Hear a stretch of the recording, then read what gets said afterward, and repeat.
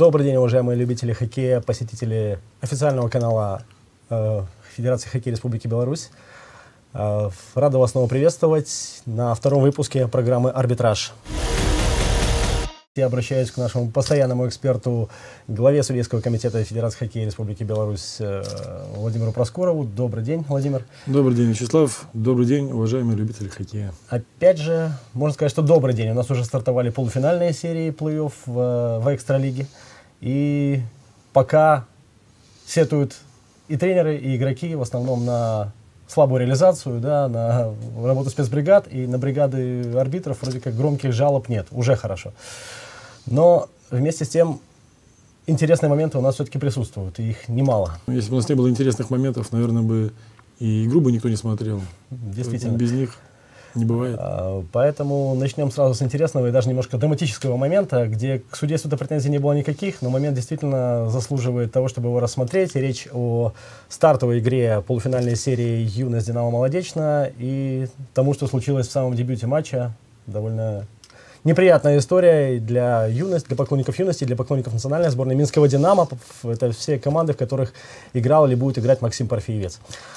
К сожалению, игрока мы на какое-то время потеряли, а сюжет этот сейчас будет на нашем экране, и мы попробуем его разобрать, то есть что было не так и какие там были тонкие моменты. Ну вот буквально по ходу, может, ваш комментарий, Владимир Николаевич. Ну, здесь мы видим, что момент оказался чисто игровым. То есть реально не игрок команды «Динамо Молодечно», ни игрок команды «Юность», они друг друга не видели, и они заметили друга только в последний момент перед столкновением.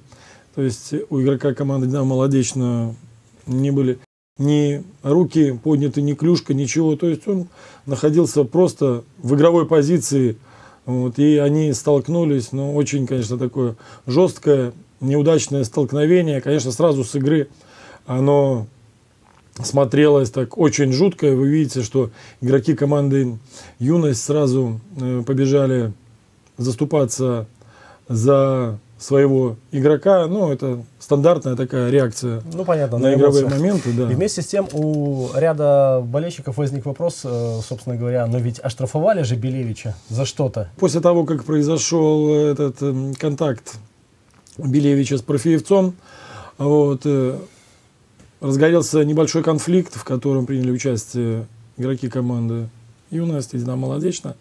Вот, соответственно, со стороны «Юности» это был Боголейша, со стороны команды «Динамо Молодечно» это был Белевич. Вот, ну, судьи быстро, скажем так, эту конфронтацию погасили, она была довольно скоротечной, и дабы страсти ну, не накалялись, то исходя из того, что было, они были наказаны оба малым штрафом за грубость. То есть фактически к тому, что произошло с Профеевцом и Белевичем, это не имеет никакого отношения. Всегда интересовал вопрос. Драка, ну, драка или потасовка как? Она часто градируется, наказывается судьями по-разному. Две минуты, пять минут до конца игры. Где вот критерий, чтобы определить, что за что получит игрок? Ну, такого понятия, как две минуты за драку у нас нет. У нас драка начинается пять минут, либо уже идет э, матч-штраф. Ну, то есть в том это случае, только в в том случае случае драки, это идет нет, не нет, было, это да, идет нет, скоротечная конфронтация.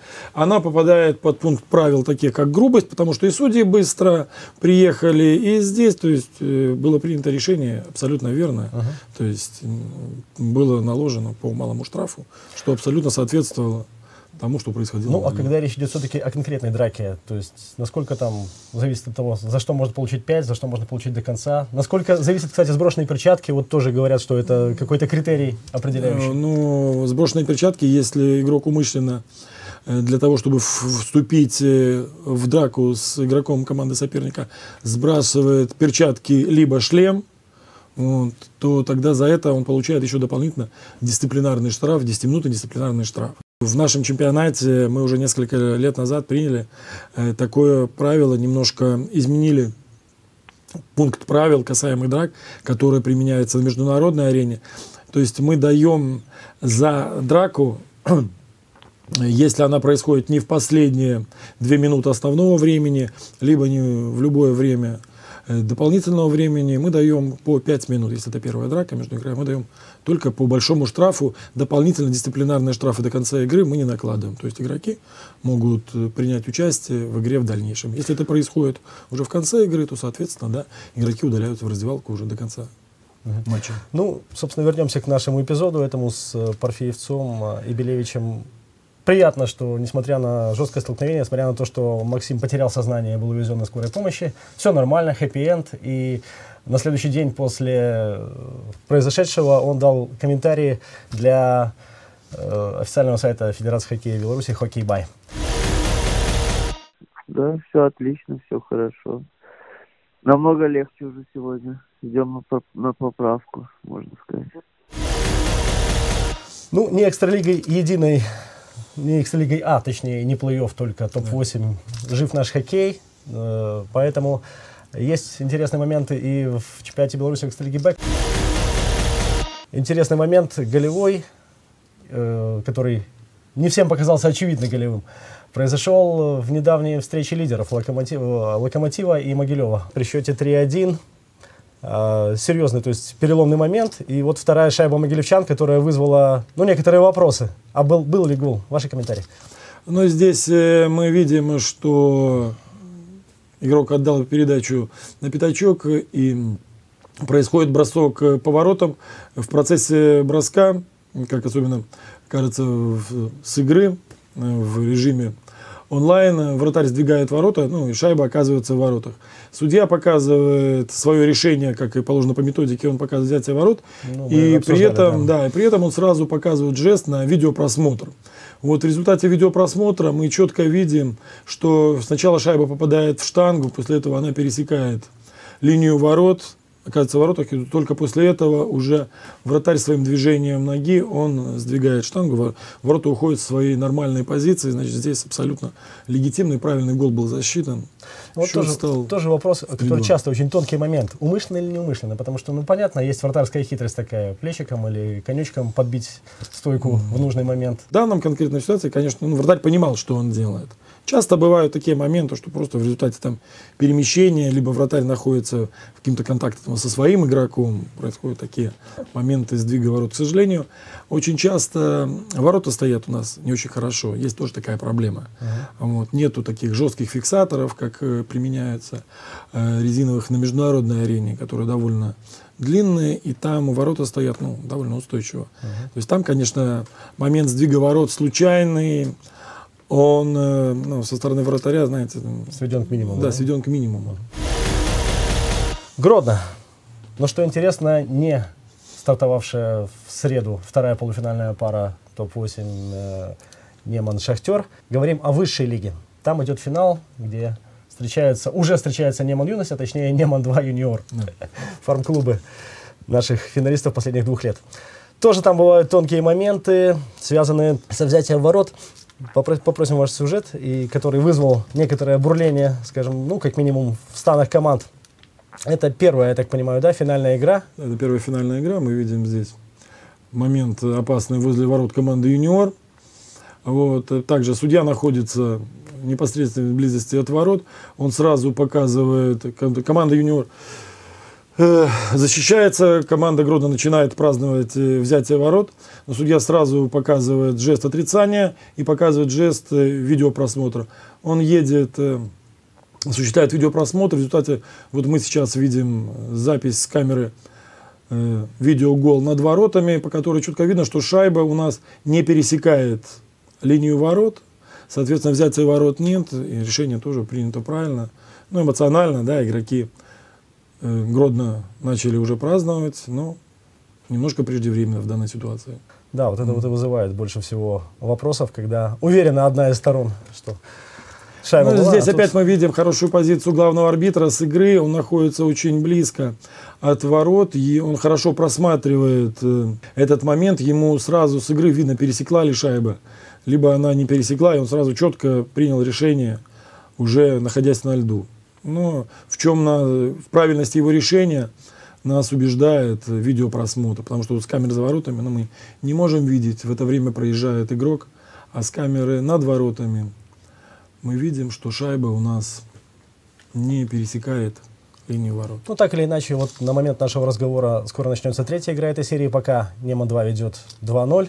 Все в его руках, как, собственно говоря, в руках юниора еще есть возможность отыграться. А, еще один момент. Вот хорошо вы заметили, что была удачная позиция арбитра. Она не всегда удачная, даже не методическая ошибка, просто ну, произойти может все, что угодно в игре, да? А, яркий пример тоже шайба решающая. Игра экстралиги Б. А, сборная юниорская до 18 лет принимала пинских э, ястребов и, собственно, победную шайбу забросила на последней минуте, причем вот по закону подлости именно на последней минуте именно решающая шайба оказалась такая спорная немножко. Здесь, я так понимаю, были апелляции к высоко поднятой клюшке, да, автора шайбы? Да, здесь э, команда соперника сразу апеллировала по поводу того, что шайба была заброшена высокоподнятой клюшкой. Момент на самом деле довольно непростой, потому что мы видим, что в результате броска вот, э, здесь шайба попадает э, в черенок клюшки игрока ну, команды. На камере из-за ворот это лучше. О 18, видно, да? да, из-за камеры ворот это будет э, лучше видно. Потом она взмывает вверх. Вот, по такой очень интересной траектории. Игрок команды 18 пытается по ней ударить, потому что кажется, что она летит выше ворот. Вот происходит взлет шайбы, игрок машет клюшкой, он по ней не попадает. Также пытается игрок обороняющейся команды, обороняющейся команды эту шайбу переправить, но он тоже по ней не попадает. И она просто парашютиком у нас опускается за линию ворот.